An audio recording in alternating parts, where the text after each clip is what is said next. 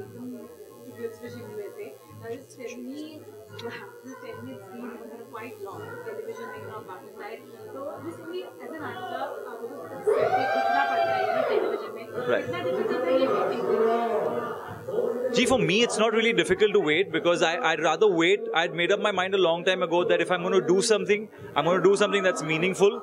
And I don't look at it for now. I, I'm not doing it for fame or money. I work for posterity. So a long time after I'm gone and dusted, my children and their children and their children, if the earth survives till then, should be like, that's my grandpa or my great grandpa.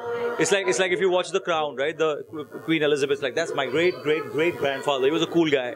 So I'm trying to I'm trying to do uh, at the best of my ability, choose wisely. how happy are you to be a part of I'm super ecstatic. So for me, it's either nothing or super ecstatic. I don't like mediocre. Anything between super ecstatic and nothing is mediocre, right?